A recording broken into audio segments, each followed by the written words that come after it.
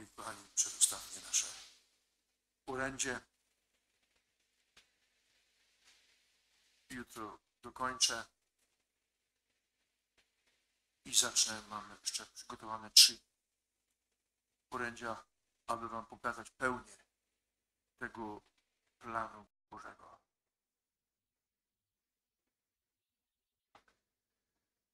Lekarz dusz obecny w Najświętszym Sakramencie. Bóg Ojciec w tych orędziach o dzieciństwie kończy to mszą świętą, mówił o mszy świętej i moi drodzy, później powie jeszcze o, Euchary, o adoracji. Czyli te dwa orędzia są zapowiedzią tego, co mamy poza sobą. Wielka Narodowa Pokuta, później pójdą orędzia o mszy świętej, o adoracji. Widzicie, nieprawdopodobną inteligencją i mądrością jest Bóg. Punkt po punkcie wszystko dzieci ustawia. Nam tylko brakuje troszkę czasu, żebyśmy zdążyli z naszymi wydawnictwami. Szczęście ma, już dziś widzę na Boga Ojca, nie zdążymy, nie masz. Fizycznie dzieci niemożliwe jest, kiedy przychodzi takie głębsze poznanie rzeczywistości, przez którą Bóg przeprowadzał mnie, dzieci i was. Bo chciałem zrobić Boże prowadzenie, ten album, ale później wszystko nie da się nie pokazać bazy pustyni. Nie da się tego zrozumieć, jeśli się nie pokaże światu skazańca, którą jest sam ksiądz Piotr. Skoro ja jestem skazańcem, później wy wszyscy, którzyście poszli za mną, jesteście, Panie Krzysiu, skazańcami. Jeśli wczoraj poleciałem na kontemplację po, po nabożeństwie, zacząsnął mną Pan. Kapujecie? Patrzę, nie mam o sercu Pana Jezusa, zostało w teczce teczce jeszcze z rekolekcji zakonu mariańskiego, no to wciągam rękę, co wyciągam? Rozważania o Matce Bożej. Rozważania różańcowe. Ta niebieska księżeczka. Mimochodem otwieram czternaste rozwiaz- roz, roz, otwiera się mi rozważanie dzieci w połowie jego góra Tabor. Na pamięć znam Piotr, ta trójka, po co poszła, to całe tego, ale później nagle odkrywam, nie? Pan Bóg daje tym uczniom łaskę poznania. Co to znaczy? Oni na górze Tabor widzieli Boga. Widzieli fragment nie całego Boga, fragment poznania Boga. Jakby całego to był Marii. Byli tak zaszokowani, że Piotruś chciał rozbijać namioty, rozumiecie? Jak nam dobrze, no wszystko logicznie. Ale oni byli przygotowani na to, żeby później unieść ciężar Kościoła, unieść odpowiedzialność i ochronę Matki Bożej i być gotowy na męczeństwo. I Matka Boża powiedziała takie zdanie. To oni tworzyli Kościół, który był oparty o hierarchiczność. Drugi punkt. Istniało posłuszeństwo wyznawanej wierze. Trzeci uszanowanie mojej pozycji w Kościele, to ja parafrazuję, a czwarty męczeństwo. Później lecą tam zdania, nie mam prywatnych objawień. I tam Pan Bóg wyjaśnia, Matka Boża, jakie jest przekręcenie tego terminu. Każde objawienie jest dane dla potrzeb Kościoła. Ma one różne wymiary. Jednostkowo, powiedzmy parafialnie, może dotykać Podkarpacia, całej Polski lub całego świata, w zależności jakie są potrzeby. Teraz jeśli to się zablokuje, to Podkarpacie nie ma łaski. Czyli zatrzymało się na rozwoju. Ktoś był rzeźnikiem. Teraz te myśli mi krążą. Od razu powstaje hasło, piszesz kolejny rozdział. Tam podpunkt, jak piszę o, o, o Słowie Bożym, bo jest punkt tej książki o Słowie Bożym, no bo jak Boże prowadzenie, skąd my to wiemy, nie? No to mamy Słowo Boże i tam pojawia się punkt czwarty, przy dokładamy, nie ma prywatnych objawień. Takie, takie wyzwanie prowokujące, nie punkt, nie ma, one są, ale one są wszystkie publiczne, one są wszystkie ważne. Temat prywatny jest to kłamstwo. wtedy dzieci przychodzi mi taka myśl. Skubani. Ta bitwa ze mną, jaką prowadzą oni, nazwijmy to imperium zła, jest perfekcyjnie przygotowane. Bo potrzebny był im trik, żeby ludzie, ci co jeszcze zostali w kościele, przyjęli nową religię. Więc trzeba było co stworzyć?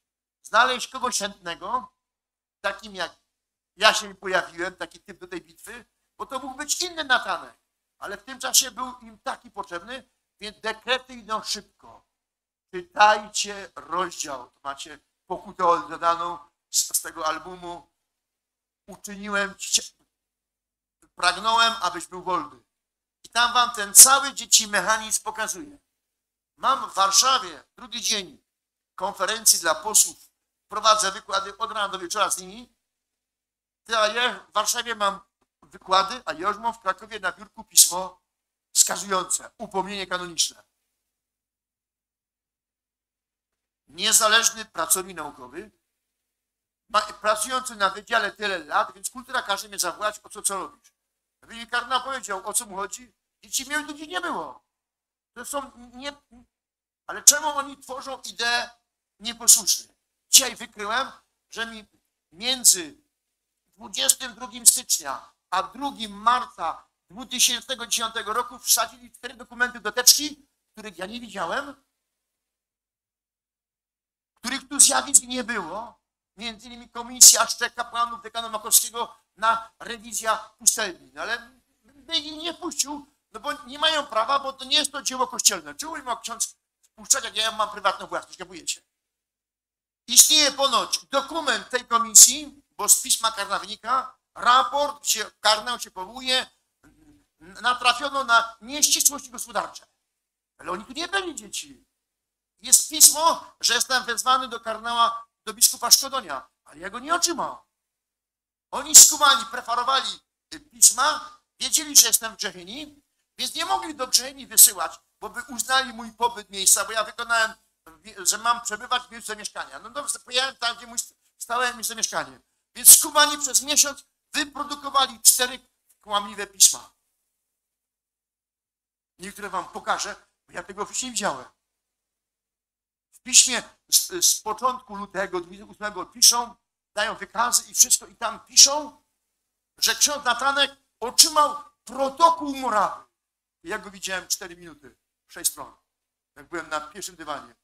To oni puścili, że wszystko jest, wszystko jest the best, czy ma protokół, zgodził się dzisiaj. Ja tego w ogóle nie widział, ani nie podpisał. Więc stworzyli pewien prefabrykat, żeby pokazać, jest inny, jest nam potrzebna idea nieposłuszny. Dlaczego? No bo ludziom, ludzie nie wiedzą, co oni przez ten czas przygotowywali. Teraz to robią w październiku. Synodalność. Synodalność przeciwko czemu? Przeciwko hierarchiczności. Synodalność jest przeciwko posłuszeństwu wyznawanej wierze, bo dają wolność tworzenia wiary poszczególnym konferencjom. Kapujecie?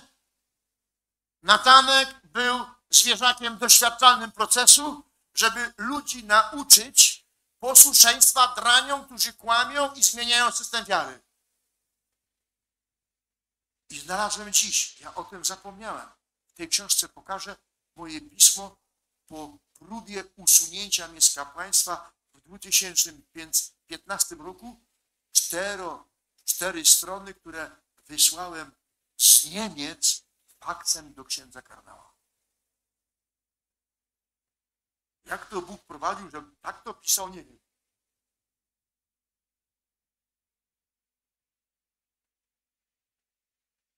Powstaje nowa religia, dla której, w której nie będzie miejsca dla Matki Bożej. Ta nowa religia co zrobi? Że muszą się pojawić męczennicy Starego Kościoła. Tak jest przy każdej rewolcie. Czy dzieci będą skazania, będą wyroki, będą was ciągnęli przed sędziów, że jesteście nieposłuszni. Dzieci, wiecie, co ja wczoraj przeżyłem na 20-minutowej adoracji? Dzisiaj dzielę się z wami. Dzielę się z wami jak to wszystko perfekcyjnie przygotowali. Na terenie kraju, który jest najsilniejszy w wierze, trzeba oświata, trzeba było znaleźć ofiarę nieposłuszną, żeby przekręcić nieposłuszeństwo Bogu. I większość wierzących w Polsce została oszukana. Nie wiedzą, o co w tej bitwie chodzi. Ja dzisiaj, bo wysłałem do kuźni Imperium pismo w 2015, żeby mi udostępnili, jak skoro zaczynają ten proces, ja mam, muszę mieć prawo kanoniczne, widzieć całą teczkę wszystkich papierów, co jest powkładane o mnie, kapujecie? Przysłali tylko oficjalne dokumenty, czyli nie wykonali prawa. To ile teraz w moich teczkach musi być powkładanych różnych pism, w zależności o co im chodzi. Bo jako historyk, jeśli natrafiłem na zdarzenie, wiem to od świadka, wzywa go arcybiskup i mówi, patrz księże, takie pismo księdzu, takie pismo w teczkach, co ksiądz wyrabia? On jedno pismo wziął do ręki i mówi, arcybiskupie, ale to pismo jest księdza arcybiskupa. Ręk, ręk. On patrz, nie możemy. A to, to, to, to, to nieważne. Teraz to. Ale to też pismo jest pisane ręką księdza arcybiskupa. To są współczesne zdarzenia. Ja na własne oczy wykryłem cały szereg pism, które w życiu nie dostałem, protokoły, których nie otrzymałem, istniejące protokoły w kurii, komisji, która nigdy u mnie nie była na pustyni. Pan Robert nadąża za mną? Jakiej bitwie bierzemy dzieci? Panie Pawełku, udział?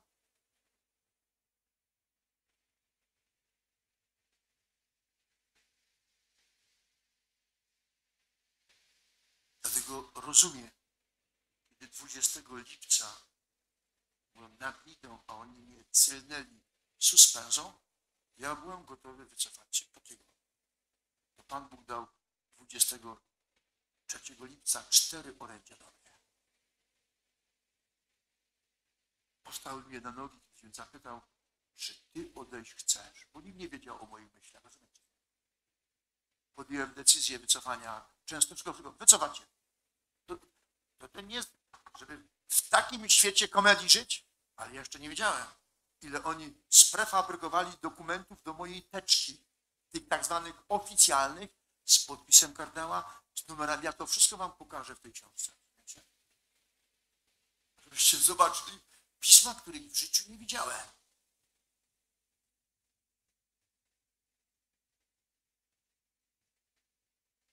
Proboszcz Zawojski jest przewodniczącym komisji. Przecież u mnie ksiądz nikt w życiu nie był, nigdy nie był, kapujecie? A z tekstu, tekstu, tekstu wynika, że napisał protokół z oględzin pustelni.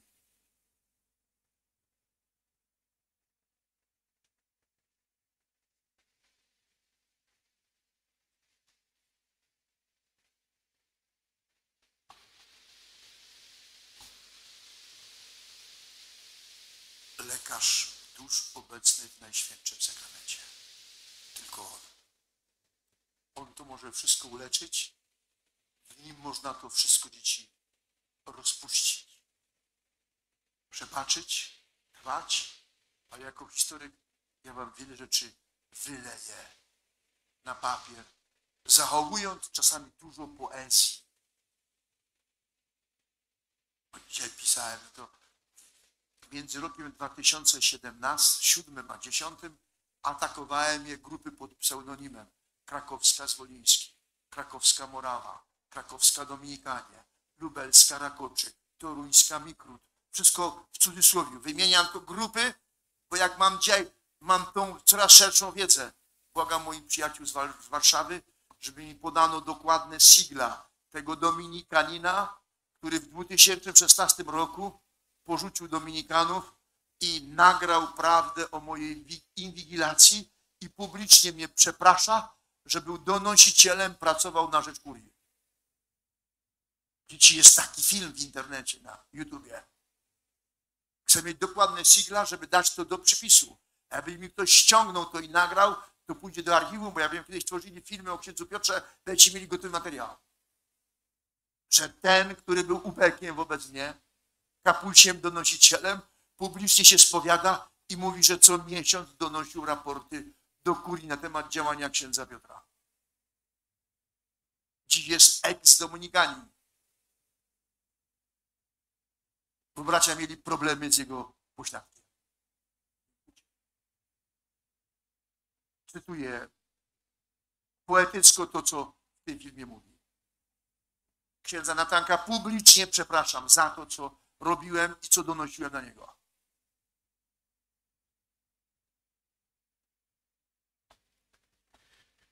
Zapytasz mnie teraz, co mam robić? Panie, aby stać się jak dziecko bez ran i smutku?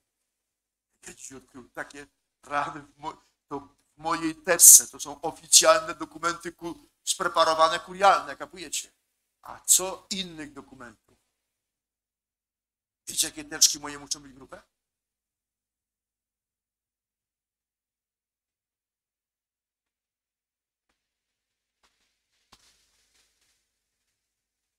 Aby moje myśli były czyste i wzniosłe? A ja ci odpowiem, przemień swoje serce, poddając je lekarzowi dusz. Panie, poddaję się od zaraz. Dziś przeżyłem pewien kryzys. Nie no, to nieprawdopodobne. Bo dostałem plik, włożyłem do teczki, ja nie patrzę, no bo wiem, jak jest enigmatyczne pismo. Ustąpili z usuwaniem kapłaństwa, no to ja trochę zamknąłem, no nie? Ale dziś po latach piszę wam dzieło Boże Prowadzenie. O kurcze pieczone. Nabiera to kolorystyki. Teraz pozostaje tylko lekarz dusz. Czy wiesz, gdzie go szukać? Tak, moja córko. Jestem obecny w Najświętszym Sakramencie. To było w 2021 a w 22 roku, rok później, dostaliśmy piorunujące orędzia. Przy świętej adoracji. Cały plik, rozumiecie? I te dwa punkty są częścią składową, najgłówniejszą naszego już codziennego życia. Kto ze mną przestaje, upadania się do mnie. Logiczne to jest. Codzienna msza, święta i adoracja. Kto ze mną przestaje, upadania się ze mną, do mnie. Bo tak zawsze dzieje się z przyjaciółmi. On już usłyszałem zdanie od kogoś, gdzie mój siostrzeniec Michał powiedział publicznie, że wszystko zawdzięcza wujkowi i jest przez wujka wychowany. A teraz chodząc po tych zdjęciach robiąc, no co chwilę się mi jawi. Natrafiłem na takie małe dziecko. Bo miałem tu chłopców, turnus chłopców, gdzie 20 było ministranta, wszyscy w komrzach. Mijały taki malutki w rogu patrzę, w okularkach, rączki złożone i patrzy tak. Nie zdawałem sobie sprawy, jak człowiek oddziałuje na człowieka. Jak my swoim stylem życia, działania oddziałujemy na siebie. Bóg to przenosi logicznie na swój system działania. Kto ze mną przestaje, upadania się do mnie. Bo tak zawsze się dzieje z przyjaciółmi. A ja to dziecko Michałka kochałem na życie dzieci. On latał koło wujka we wszystkim. No dzisiaj spłaca mi. Lata, lata koło mnie. Wiele rzeczy pomaga mi w tworzeniu działania. Nawet dzisiaj, jak się modliłem podczas adoracji, nawet mi przyszedł pewien plan wobec mojego siostrzeńca.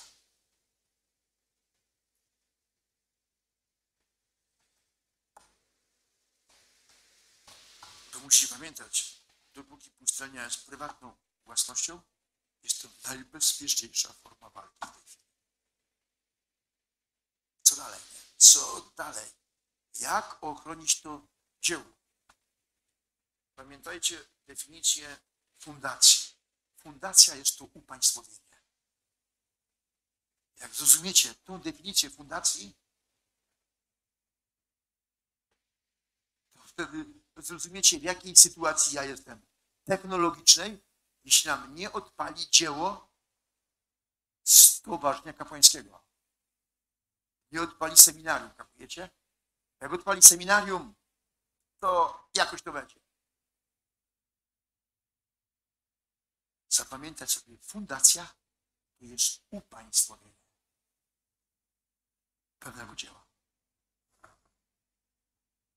Kto ze mną przestaje, upadabnia się do mnie, bo tak zawsze dzieje się z przyjaciółmi.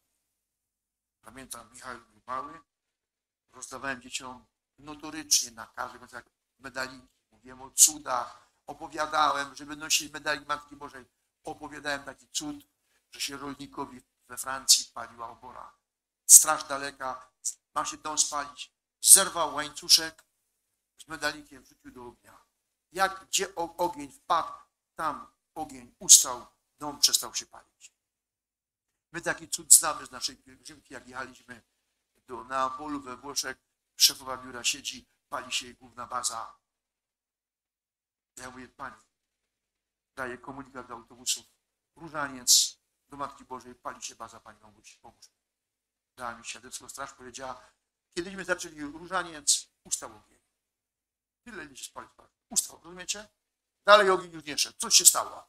Wypalało się, gasili, tak, ale się już nic nowego nie paliło. Więc Michałek taki cud usłyszał i nagle mama go widzi, Michałku, ty zwariował, po coś cię dwa medaliki dał, wystarczy nosić jeden. A on mama, wujek powiedział, jakby się palił dom, czymś, ja ściągnę jeden, wrzucę do ognia, og- ognisko, ogień będzie uratowany dom, a ja będę też bezpieczny, będę miał drugi medalik. Mama za nim mówiła, Michałek, nosił długi czas dwa medaliki. Pamiętajcie, to upadabnianie. Silniejszy ma moc uczynić słabszego podobnym sobie. Teraz rozumiecie ideologię gender? Przejąć dzieci dla ideologii mają o wiele większą ofertę pokus, doznań. Wiesz, rozumiecie? To jest bardzo sprytny system bitwy. Rozpoczęli ogromną walkę z Kościołem w 10, 10, 10 bo dziś natrafiłem na pewno orędzie, bo to człowiek słucha, co nas, co nas, co Bóg przepowiedział, co czeka księży dzieci. To się wszystko spełniło. Pozycja kapłanów, która była w 2010 roku w wymiarze globalnym w Polsce, no to dziś zmalała o 80%. Rozumiecie? Wartość bojowa poprzez autorytet firmy, osobowości, wszystko dzieci zrównane.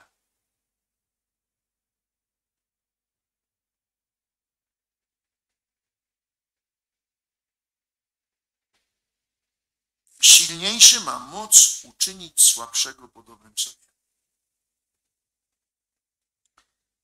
Czy chcesz być jak ja?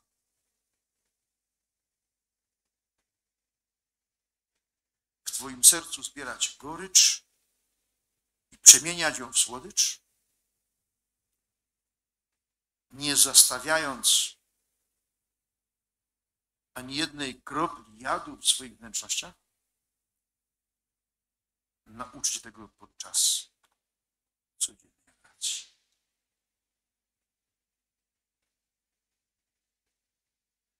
Resztę będę Wam